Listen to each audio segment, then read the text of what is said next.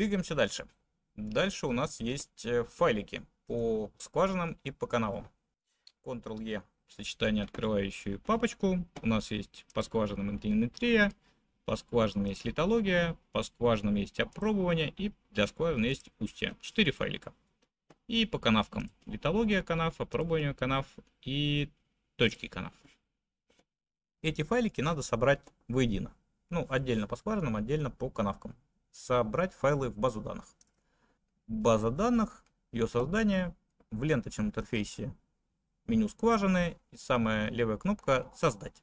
Но я не буду ей пользоваться. Я сначала проверю скважины на наличие ошибок. Ну там, целостность базы данных, какие-нибудь логические противоречия.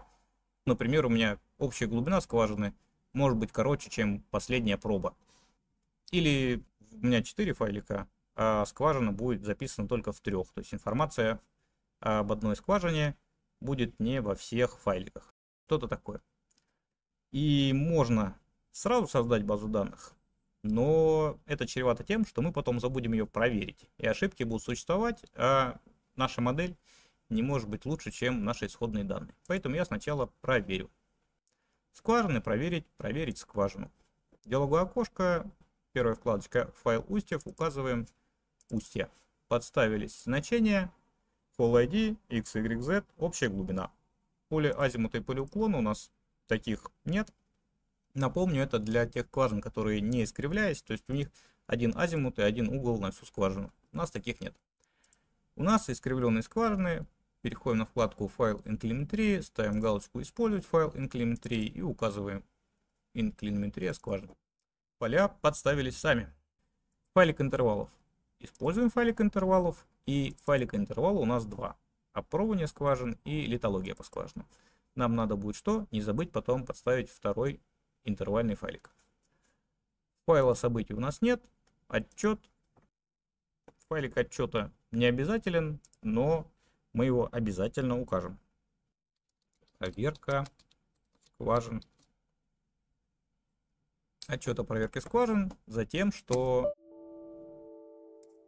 ошибки в базе данных это не шутка ошибки надо будет все зафиксировать. И если мы решим исходные данные как-то менять, надо каждое изменение в исходных данных зафиксировать. Сразу про фиксацию. Вот у меня какой-то отчет, он в формате макромайн, а мне, допустим, надо будет отчитываться об ошибках, в Word отчет делать, или в Excel я табличку сделаю, обращусь к заказчику, чтобы он мне разъяснил, откуда у меня возникли ошибки. В общем, мне нужно будет из макромайна куда-нибудь мой отчет перемещать в другой формат. Во время проверки скважин открывается еще, одно, еще одна менюшка ленточного интерфейса проверка скважин. И здесь инструменты этого меню. Среди них находим редактировать форму. Попали в только что закрывшееся диалоговое окошко. Здесь мы, во-первых, форму не забудем сохранить. Мы собирались героически сохранять все формы и файлик отчета я открою правой кнопкой мыши, просмотреть. Вот у меня 7 моих ошибок, запись, ну, строка, в которой найдена ошибка, программа считает, что она именно там, скважина, в которой эта ошибка, ну и, в общем, описание ошибки. Здесь, слева вверху, у меня есть кнопка экспорта в Excel. Я свой отчет могу в Excel закинуть. То есть как мы импортировали из Excel, также мы в Excel можем экспортировать. Имя файлика предлагается такое же, как и файл отчета. Имя листа я поставлю без опций. В проверке можно было много галочек поставить, я не ставил ни одну галочку и все равно 7 ошибок вылезло. Поставлю галку записывать имена полей. И можно открыть файлик после экспорта, чтобы посмотреть, что получилось. сохраню, сохраню форму. Раз мы решили заводить себе такую привычку. Запустили. Файлик проверки скважин создался. Мне этот файл нужен для того, чтобы он был не в формате макромайн.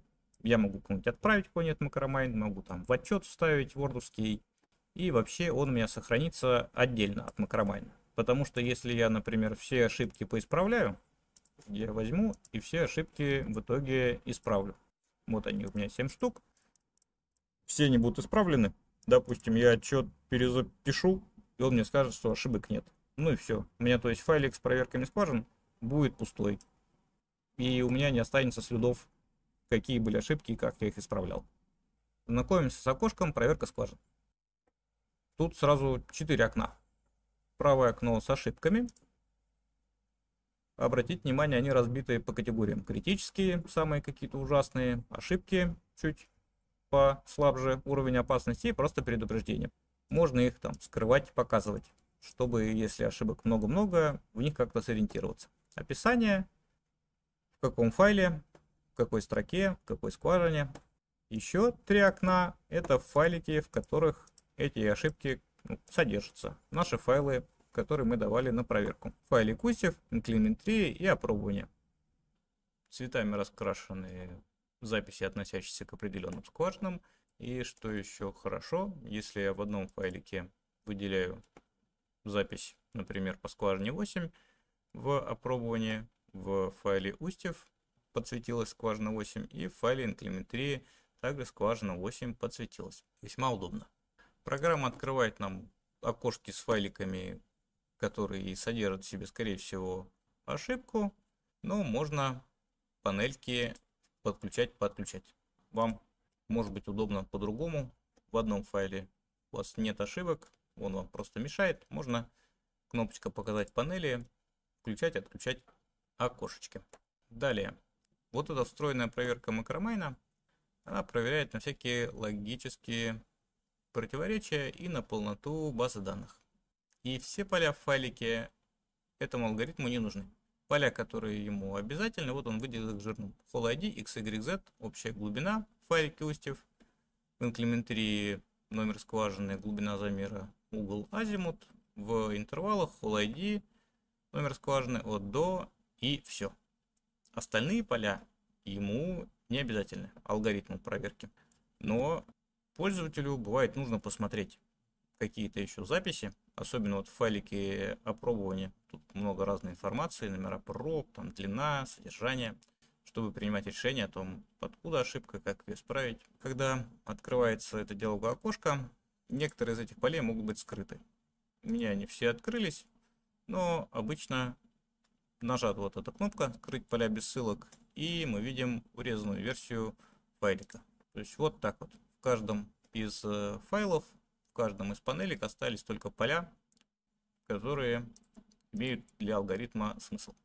Но так как нам интересно все в файлике посмотреть, нажимаем панельку, кнопочка скрыть поля без ссылок, отжимаем ее и мы видим все поля. Можно также настроить по каждому отдельному полю. Нажимаем кнопочку перегруппировать поля или правой кнопкой мыши щелкаем, находим перегруппировать поля и ставим галки или убираем галки, какие поля нам нужны. Очень удобно и наглядно. Но если не знать, иногда теряешься, где, куда делись поля, почему не видно содержание. Никогда не обращал внимания, а вот сейчас увидел что есть кнопка «Найти скважину в Визексе». И тогда мое желание не создавать сразу базу данных, оно может быть э, не такое уж и хорошее. Я бы создал базу данных, нашел скважину, в которой содержится какая-нибудь интересная там для меня ошибочка, я бы сразу ее в Визексе увидел. Никогда не пользовался этой кнопкой, я вообще хочу проверить, работает нет. Давайте мы тогда все-таки возьмем и прежде чем проверять скважины, исправить ошибки, базу данных создадим так вот внезапно. Но повторюсь, если бы не эта кнопка, которую мне просто захотелось потестить, вообще лучше сначала проверить, а потом только создавать базу данных. Потому что не проверил, база данных работает, есть возможность проигнорировать ошибки, и у вас дальше база данных с ошибками существует, вы про них давно забыли. Ни к чему хорошему это не приведет. Создать базу данных. Скважины, самая левая пиктограммка создать. У нас есть файлик устьев, файлик устьев устья. Обязательные поля подставились. Файл инклиметрии. Инклиметрия. Ставим галочку, чтобы показывалось. Файлик инклиметрия скваж. Обязательные поля проставились. файлы интервалов. У нас их два. Мы их оба добавим. Нашли кнопку «Добавить». Файлик интервалов у нас опробование по скважинам. Проверили, что все заполнилось окей. И добавили еще один файлик. Это файлик литологии. И то, и другое идет интервалами. Это интервальные файлики. Или файлы интервалов. База данных вывода. Так и напишем. База данных. База данных скважин. Что тут у нас еще? Атрибуты устьев. Атрибуты устьев я могу указать.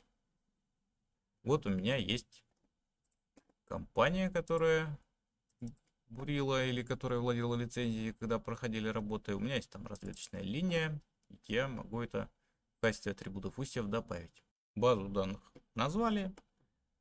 Формочку сохранили.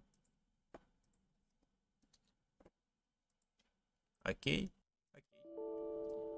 программа мне сообщила, что есть у меня ошибки, я их проигнорирую, и база данных создалась. Ничего на экране не появилось. И вообще у нас какой-то скучный белый экран. Давайте мы, у нас же создан каркас, мы подгрузим каркас, форму Визекса, каркас, тем топа, схватил, перетащил. Вот у меня каркас. И базу данных давайте визуализируем. Чтобы база данных появилась в Визексе, мы находим в формах Визекса строку скважина. Если она скрыта, на треугольничек слева раскрыли. И первая строка за скважинами траектория. Два раза нажали, вылезает деловое окошко.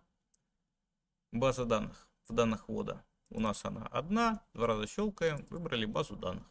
Дальше стоит галочка показывает траекторию. Да. Цвет по умолчанию можно сразу поменять. Толщину линии я сделаю потолще, позаметнее будет. Дальше на ваш вкус и цвет можно раскрасить траектории в зависимости от чего-нибудь, например, от файлика интервалов. Но мы пока не будем. Название выработок. Да, показывать. И название можно либо сверху подписать, либо снизу. Либо у устья, либо у забоя. Название скважин обычно подписывается у устья. Он спрашивает расположение. Сейчас его нет, то есть не будет подписано ну, либо автоматически, либо по центру. Метка холоди, он автоматически подставил. Мы поставили атрибуты устьев, если помните, в базе данных, когда ее создавали. И здесь теперь на выбор у меня можно Full ID, либо какой-то из атрибутов, которые я указал. Я хочу Full ID, номер скважины. Глубина. Глубина будет подписана у забоя. Ставим галочку «Показывать глубины выработок». Цвет, э, суффикс метки. Суффикс, то, что идет после значение глубины. То есть у меня там будет написано, например, 150. Дальше я хочу, чтобы было видно, что это в метрах. Пишу пробел метры. Десятичные. Сколько знаков э, после запятой в глубине выводить, если у вас там фактическая глубина с точностью до десятых или до сотых. Это не сильно кому-то нужно. Поставлю 0. Длина рисок. Ну, это надо смотреть по месту и вообще на ваш вкус насколько будет э, длинная черточка поперек э, траектории скважины. То есть у забоя такая черточка рисуется. И расположение я также поставлю по центру. Устье. Устье, да, хочу, чтобы устья показывались. И хочу, ну, символ поменяю. Поменяю символ, будет у меня пустой кружок. Производительность ну, стоит по умолчанию полный, в зависимости от производительности вашего компьютера. Точки пересечения это если мы хотим показывать точки пересечения траектории скважины с разрезами, но мы еще про разрезы ничего не знаем, поэтому давайте не будем ничего ставить. Вдоль скважин тоже пока не... есть возможность показать данные вдоль скважин, но мы по-другому. Выведем данные вдоль скважин по-другому. Нажмем ОК. Вот у нас что-то появилось. И сразу вы должны мне сказать, что я форму не сохранил. Форму не сохранил, но Объекты, которые подгружаются в Vizix, их форму можно сохранить после в просмотре слоя Physics. Вот у меня появилось без имени BD скважин. Я правой кнопкой мыши нажал и выбрал сохранить форму как. Делаю окошко. Окей. Вот у меня форма базы данных сохранилась. Так, зачем я это делал? Затем, чтобы посмотреть, э, как там сработает кнопка «Показать скважину в проверке». Поэтому я вернусь к проверки. Нажму ОК. Да, заменить. Я тут, в общем, уже успел все закрыть. Вот у меня проверка скважин. И я выбираю, например, восьмую скважинку и хочу ее найти в Визексе. Нажал, что-то там, наверное, произошло, я ничего не увидел. Ничего не увидел, потому что у меня Визекс отдельно, а проверка скважин отдельно. Было бы у меня два экрана, как у всех порядочных модельеров, было бы мне, в общем, сразу все видно. Так как у меня экран один, все вкладочки не умещаются, чтобы на экране разместить больше, чем одно окошко, по заголовку нажал правой кнопкой мыши и выбираю ну, либо плавающее, чтобы окошко перемещать, либо какую-нибудь там горизонтальную, вертикальную группу. Сделаем горизонтальную группу. Так, что я хотел? Я хотел вообще-то восьмую скважину. Найти скважину в Визексе. Ага. А, вот она. Она подсветилась. Скважинка подсветилась. Скважинка подсветилась. Можно рельеф отключить. Вот я ее вижу. Выделена восьмая скважина. Свойства можно зайти посмотреть сразу, что тут есть. Очень удобно. Если у вас какие-то вопросы к скважине, и вам надо ее увидеть, выделяем, находим кнопку «Найти скважину в Визексе», нажимаем, вот она, удобно. Но я бы все-таки не создавал базу данных до того, как э, проверил скважину. Все ли я вам рассказываю о всех ли фишках? Конечно же нет, не о всех. Но в программе есть возможность потыкать на кнопочки, посмотреть где что. В общем, осваивайте на здоровье. Если, например, у вас нет такой функции, например, мне 101 скважину надо, скважина 101, я ее скопировал, название, иду в Bizax, жму Ctrl-F, вставляю, найти, и он мне находит. Если у меня в Bizax открыта база данных, я ищу по названию, он догадывается, что я хочу найти именно скважину. Ну или в окошке скважины, самая правая кнопка «Найти скважину». Так, это все были лирические отступления. Вернемся к проверке.